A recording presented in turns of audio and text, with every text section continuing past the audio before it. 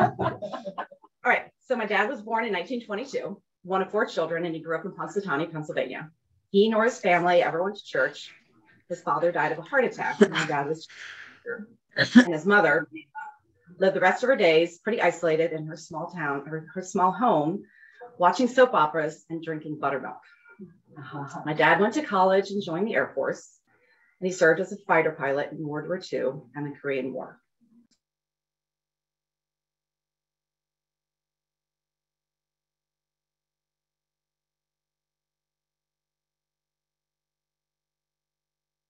So anyway, I was saying I don't remember any formal reference to religion. How they lived out their faith, loving God with generosity and kindness, humor, and self-sacrifice. I was born in Palo Alto, California in 1965, the youngest of six children. And my control has been taken away from so me. So Emily's going to do the slides for me. Um, I had two sisters two half brothers, and a half sister. My dad had been married and had three young children, born very close together. His wife was then institutionalized for the rest of her life with what we would term today as postpartum psychosis. Struggling as a single parent with little help from my Nana, he soon met and married my mom, and they went on to have three girls. At birth, I had several medical issues to overcome pyloric stenosis, which was a clogged digestive tube. I had an ABO blood incompatibility, and I had milk allergies. So I guess you could say resilience is in my DNA. we lived in California until I was five. My memories for that time include our family pet, Duke, and my fifth birthday party. I don't remember ever going to church. My mom had been raised Catholic and my dad was an atheist. My oldest sister had just gotten married after graduating from high school, so she stayed in California. But my parents and the rest of us moved to Potomac, Maryland in 1970. Although a year apart in age, my brothers were both seniors in high school, so they weren't pleased to be moving across the country for their senior year. Next slide. From this point, I had many amazing memories of a blessed childhood. We enjoyed family vacations, big Christmases, where my sisters and I wore matching nightgowns, swimming and ice skating lessons, gymnastics, horseback riding, recess with my friends, and running all over the neighborhood until dark. I was very active and I was always busy. I also remember attending church and Sunday school at Fourth Presbyterian, where my mom had become a member. As I mentioned, my mom was raised Catholic, but after a brief first marriage and divorce before she had met my dad, the story goes she was kicked out of the Catholic Church and I guess became Presbyterian. my sisters occasionally came to church with my mom and I. My brothers weren't around much that first year, and then we're both in college at University of Maryland, where they became born again Christians. They evangelized to my dad all the time, and it drove him crazy. I was intrigued by their confidence and ability to talk to anyone willing to listen about their faith and about Jesus, the one who saves.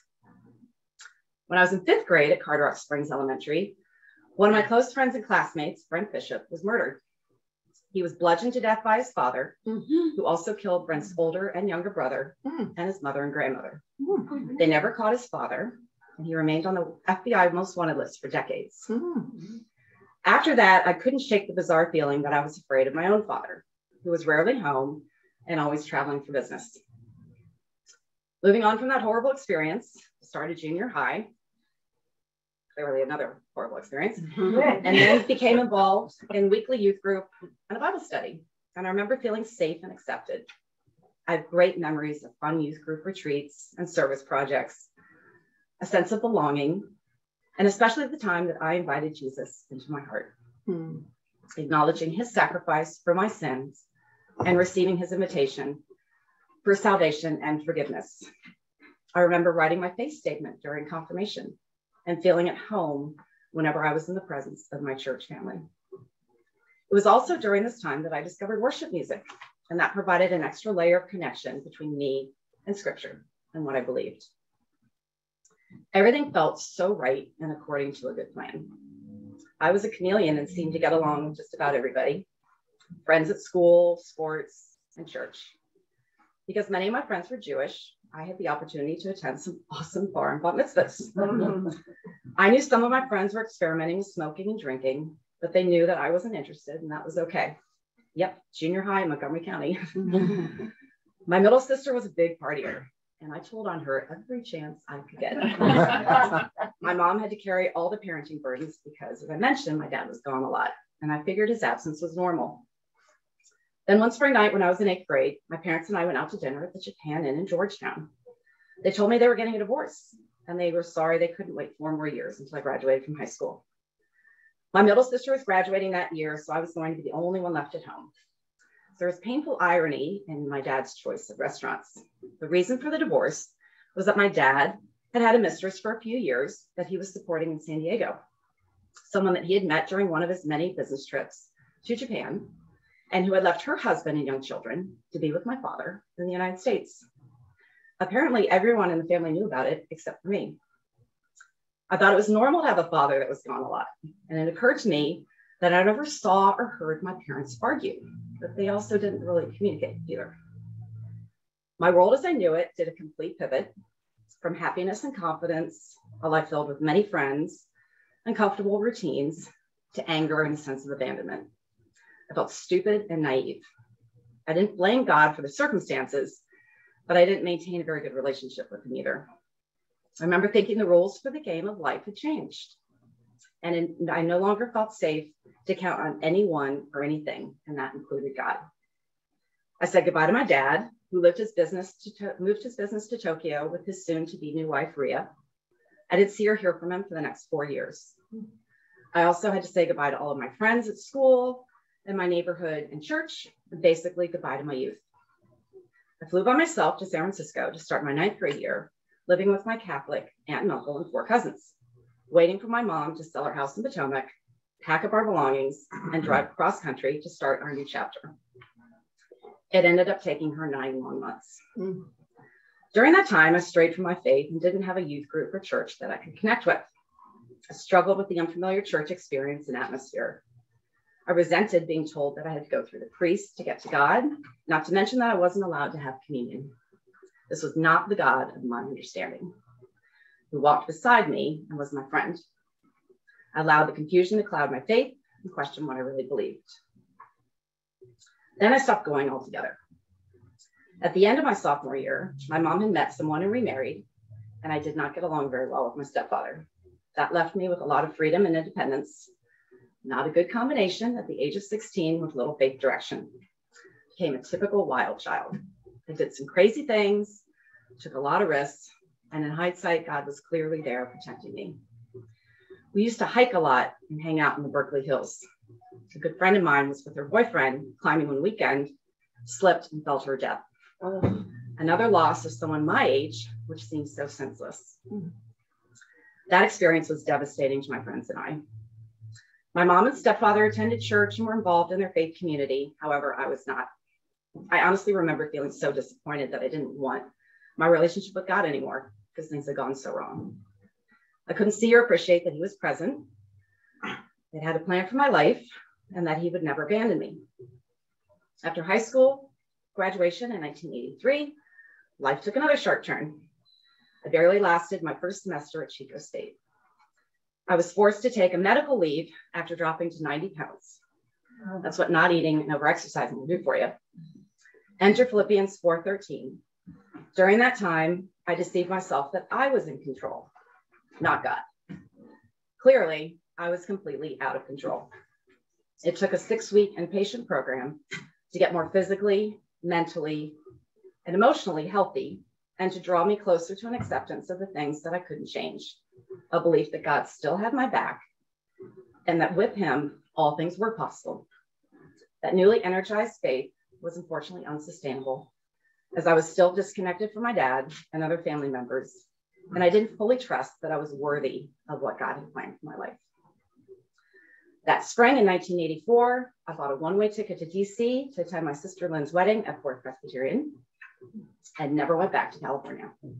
I somehow found a full time job working for a local attorney, rented an efficiency apartment filled with cockroaches in downtown DC, and went paycheck to paycheck. Determined to make it on my own. Again, in hindsight, it's clear that God was there protecting and providing. I was reconciled with my mom and stepfather, with my dad and stepmother, and other family members, but I still wasn't willing or ready to reconcile my faith. Now it's 1986 and I've found a rhythm, yet I'm still a churchless, woefully independent adult. I let someone into my life who was kind and fun and tolerated my idiosyncrasies and character defects.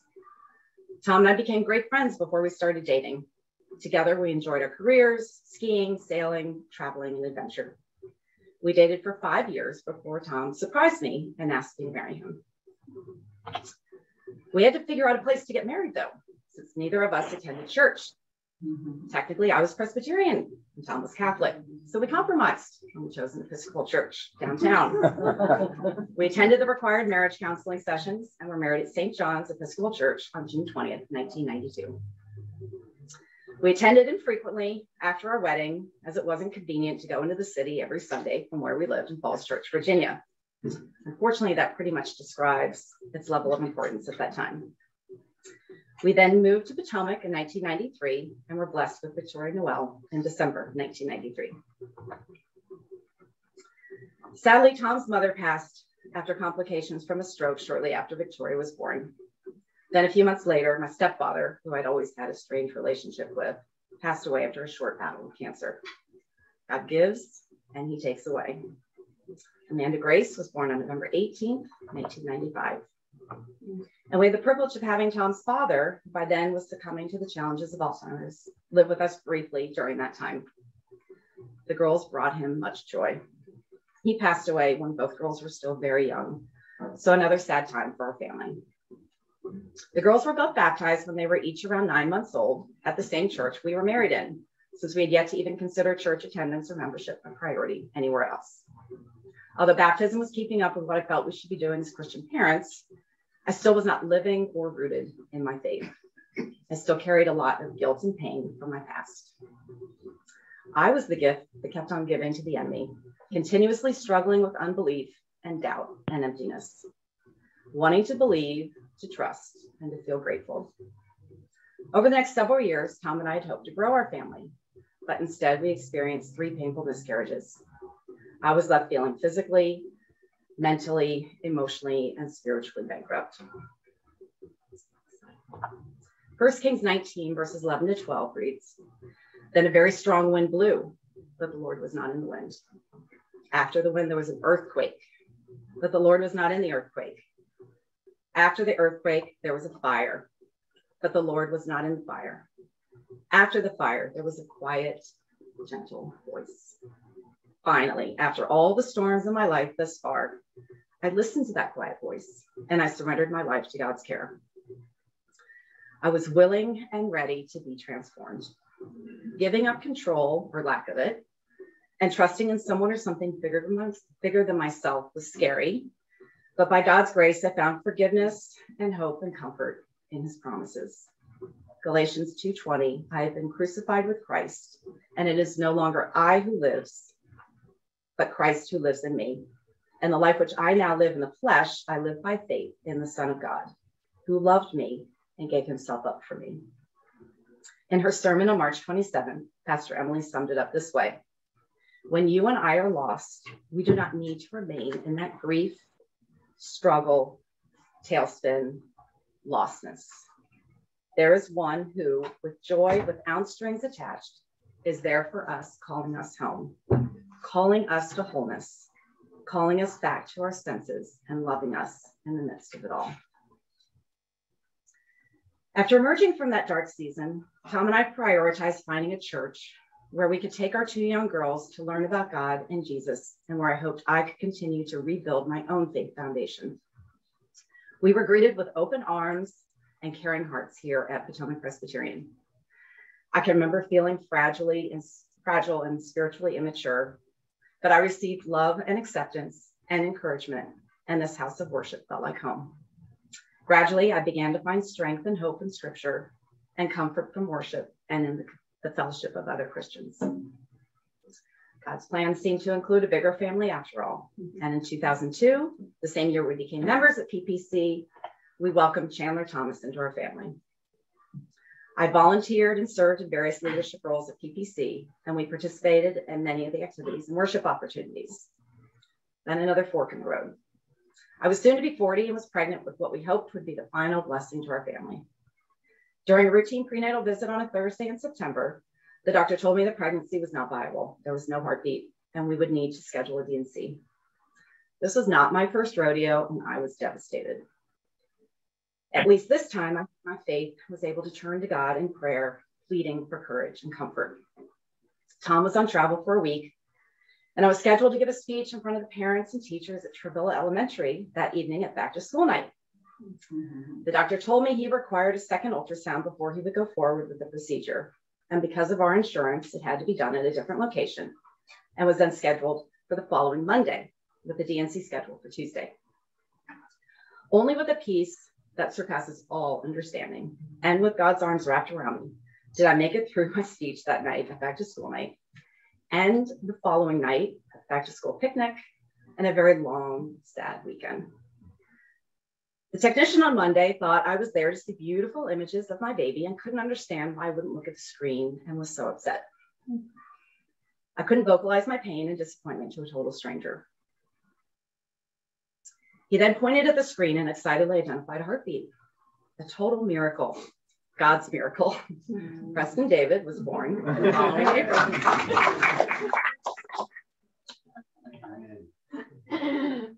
Through my hills and valleys, I am reminded that I can pray earnestly for what I think I want and desperately for what I think I need, but God's plan will always prevail. I've learned to pray for serenity, for a heart perspective that equips me to accept outcomes that don't align with what I envision for myself and my family. It replaces a lot of headstrong disappointment. My mom gave me a small plaque that I cherish with a familiar quote by Eleanor Roosevelt. Yesterday is history, tomorrow is a mystery, Today is a gift. That's why it's called the present. Being present takes intentionality and being grateful for each day the Lord has made. Gratitude can be like a light bulb and is a necessary resource to counter darkness.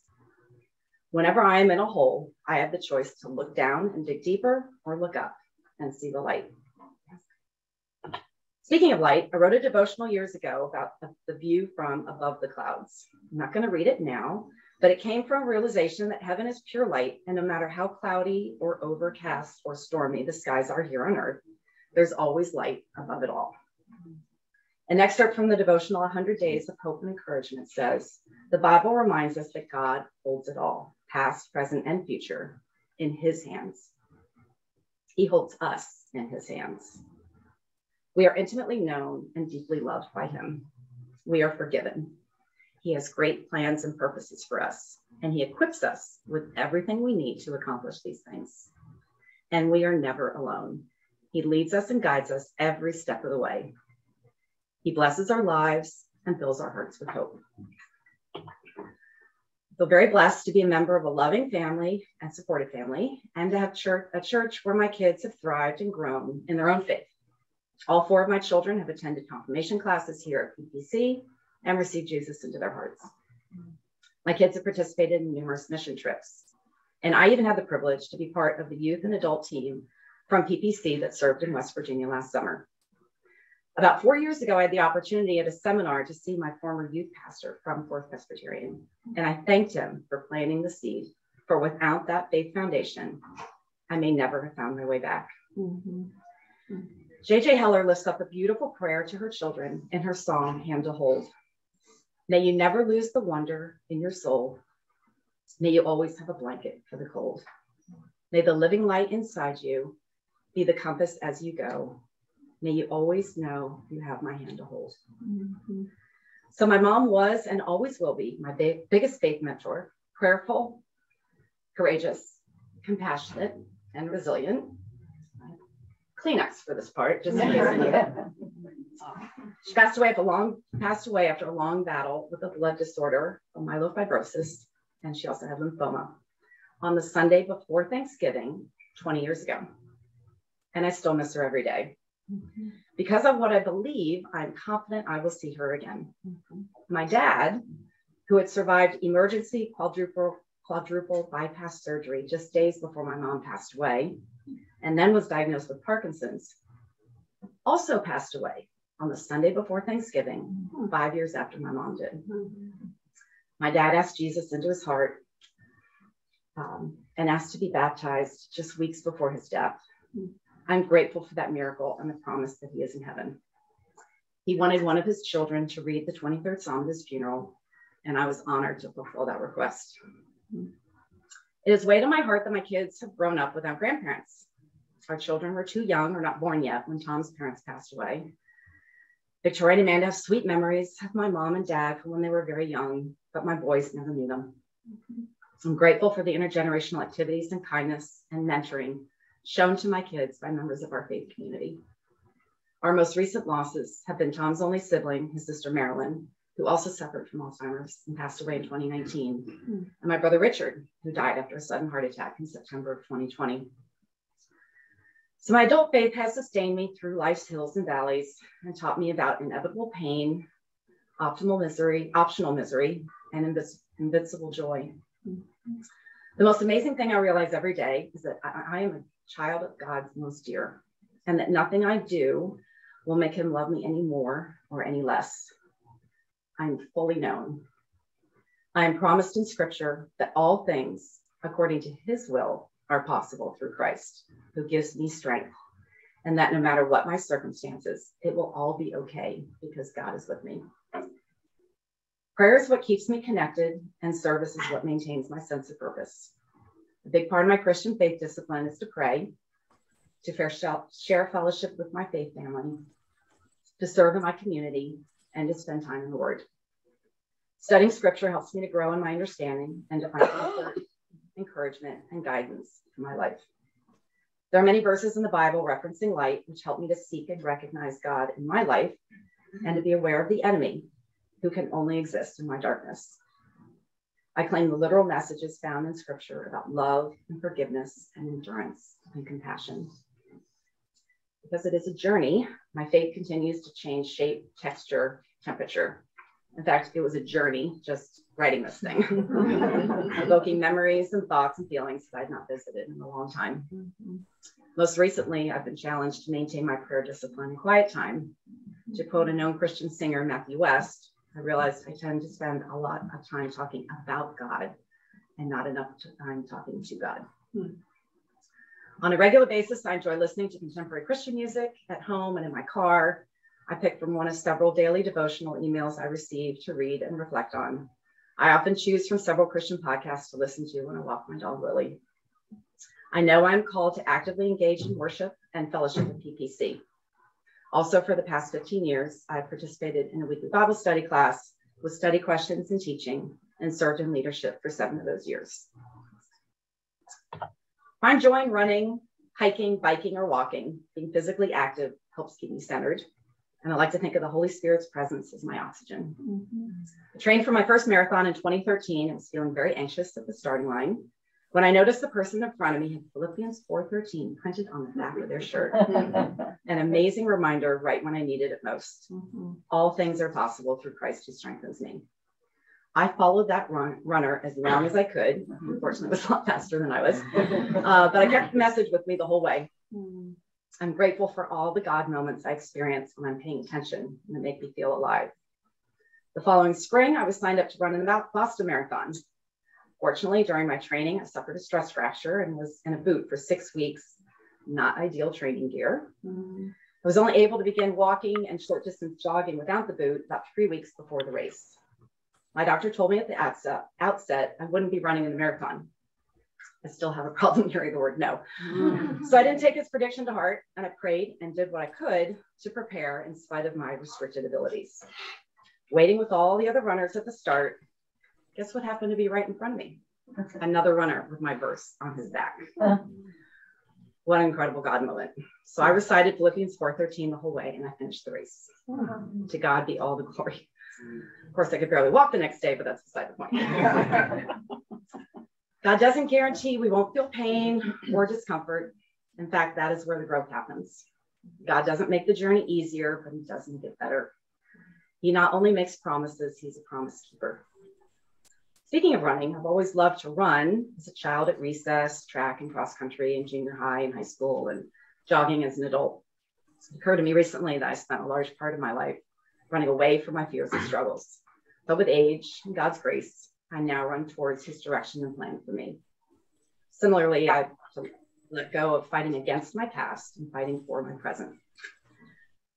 An ongoing struggle for me is to turn up the volume of the wholehearted voice that comes from the Holy Spirit and to quiet as much as possible the discouraging voice in my head that I know doesn't originate from God. The worship band Casting Crowns has a song entitled Held. In the lyrics, it is God speaking to me, challenging me to stop trying to hold on and to just be held. It's an awesome image for me to be held in the arms of my Lord. And here's a music video of that song. I guess, uh, and just listening to your whole story, which is just amazing, and uh, not knowing that story, but knowing your family since you've been here at church, and mm-hmm. you're just family, just fantastic. Your your four kids and and the success they've had. I mean, it's just so clear that you have lived in your faith with Tom as well, and your family has also grown in that that context. But my question is, um, as, as you talk through your life story, mm-hmm. you said, I now realize looking back a few times, mm-hmm. maybe not exactly those words, but yeah. that was your intent. And I'm just curious as to, uh, given where you are now, which we're all in that kind of situation when we reflect back on ourselves, mm-hmm. but from your perspective, looking back, when did that realization really start happening? Has it really been at this point or in the past few years or maybe, you know, maybe the past decade or so that you've looked back on your earlier phases of your life where you had all of these tragic situations happen to you. Mm-hmm. And at the time, I imagine you were, you know, very upset and you didn't really think God was there. You even said as much. Right. So when did you start really evolving a perspective in that regard in terms of God being present even back when these tough things were happening? Um, I, I think just that that is a hard question, by the way. um, okay, Tom, I guess I, so, I don't know. I mean, I guess that I um, so Matthew West on his podcast, he at the end he asked his his um, his guest your blue couch moment because he was sitting on a blue couch. Billy Graham um, he was looking for a baseball game and a Blue, Billy Graham crusade came up on the TV. And he actually like listened to it. His father was a preacher, so he figured he already had the ticket to heaven. So he wasn't really invested in his faith as a, as a child. And this just spoke to him. So that was his blue couch moment. And I've had um, my faith, I think, in looking back and in writing this, first of all, I am in, like incredibly grateful. I think it's so important to have a faith foundation because the building can get knocked down, but the foundation's still there. And in my case, the building got knocked down several times. And you know what? Because of that faith foundation, I will honestly say that I always like knew God was there. I just didn't want him. I didn't want to receive it. I wasn't worthy. I had a lot of shame. I had a lot of guilt, and I couldn't receive his love. But I feel like I've always, and I'm grateful for this. I've kind of always known he was there, you know, and I, I, I um, probably didn't emphasize it enough here, but I never blamed God for anything that happened to me. Mm-hmm. I am, because of my personality, I'm very strong willed, very independent, and that can work, that can be a positive and a negative. And it worked against me in the sense that because of what happened with my parents, like everything was like great. And then bam. And that's where I can really pinpoint my the beginning of my downfall, chapter one, which was just like because I thought God was like part of that. And so I, I didn't blame him for any of that, but I was like, but I thought because I like everything's so awesome that that's how it's always supposed to be. And so it's taken me a long time to fully realize that God doesn't make life perfect. Mm-hmm. He doesn't guarantee us anything. He gives us free will.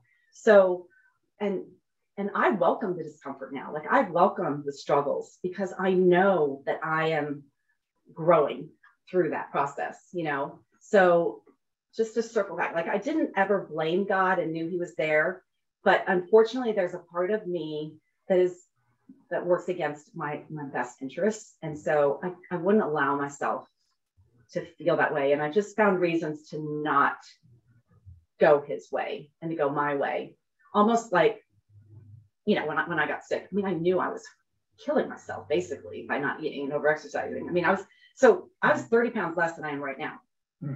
And so I, you know, it's for me, it's really been, it's been really hard for me to fully accept the fact that I am worthy of love and being saved. And that was that turning point for me after the miscarriages. I was like, well, of course I miscarried because, like, I, mean, I wasn't a martyr, but I was like, because I'm not, I don't deserve another kid, you know? So, like, I just had a lot of weird feelings going on. And it was, I mean, truly, I mean, I probably should have been in therapy when I wasn't. There's a lot of great resources available for people when they're struggling. And for me, I mean, it was like, it was God. Like, I am so grateful because He truly just lifted that, uh, that veil from me of that that precluded me from really being able to accept him fully and be fully known. And so that was the turning point for me really was and then joining becoming members here and just like literally surrendering to receiving God's love and and and being okay with that. Thank you. And then the mm-hmm. faith foundation that our kids have gotten here. It's just totally awesome. But you know, what from what Bob said, you also raised the quiet voice situation that you heard that quiet voice that yeah I, I heard this thing another podcast. Like, I'm sorry, but I just listened to a lot of different stuff. And this guy was so funny. He, um, he said, so his quiet time's really loud. And I was like, oh my gosh, I so relate to that. You know, like I'm so, I wish my quiet time's very like quiet, but I'm just a loud, like things are loud. You know what I mean? So, um, yeah. So that quiet voice, I, it's a workout for me to really to that quiet voice. Okay. Sorry. Uh-huh. Uh, it's a big, big, big story. And we have received it's unfortunate that we came in a bit late, we didn't realize. But I just want to, uh, I saw my wife sharing a small tear. story, which means it's a great story. And as a together. Let's thank God. Yeah. Allow me to pray now. Let's bow our heads and pray. Father God Almighty, we just want to express our gratitude to you, Lord, for who you are. Great God, indeed. God who loves us so much, Lord. We just receive, Lord, the testimony, Lord, coming from our sister here about your holiness, Lord. She could have been somewhere else, not here. Now, Lord, as you not stretched your merciful hand upon her, we just want to say thank you. And uh, Lord Jesus, we thank you for your goodness. Lord, you coming down to this world for people like us, Lord, to save us people who were bound to go to hell because of that fall of Adam. But because of your mercy, Father God Almighty, Jesus Christ came to break the all the wall of enmity between us and you. We are grateful, Lord, for such a testimony. Lord, we thank you, we honor you, we we just are overwhelmed, Lord, because of your goodness. My prayer this morning, Lord, that this experience should be for each one of us, Lord, that we'll have a story to tell, a testimony that at one time in my life I encountered Jesus Christ. Thank you, Father. Be, be glorified. Thank you for this church, Lord, which welcomed her when she was almost, Lord, not knowing where to put her, her feet, Lord. At least she found welcoming hands in this church. Lord, I pray for this church, Lord, in the name of Jesus, Lord, that this spirit will continue, that every one of us, Lord, here will encounter you and be in a relationship with you, Lord. That even in our quiet times, Lord, you will be loud and clear. be ye glorified. Thank you, Lord. I commit and their family, Lord, the children will never go astray, Lord. That, Lord, you will keep them, you guard over them, Lord, so that, Lord God Almighty, their story, Lord, will be like their mothers, Lord, as they meet you, Lord Jesus. Glory to your name. In precious name, pray. Amen. Amen. Amen. Amen. I am so So- glad you're here this morning. Yeah. I was gonna say, Daniel, you took the words right out of my mouth. It- it- I mean, and said it so much more eloquent. We are really grateful and moved by your vulnerability with us, your willingness to share yourself with us. That makes us a stronger community and that makes us stronger in our faith when we are privy to that kind of openness in sharing how God is at work in your life. So we, uh, along with Daniel, I praise God for your sharing. This is something that we've been doing. Many of you know um, this year is inviting people to be vulnerable and to share how God's at work in in our lives. Um, and Wendy's modeled for it. Bob, all of you who have shared in beautiful and moving ways have modeled have modeled community for us and have modeled how God is alive for us. We're so grateful for your testimony. Thank you for listening.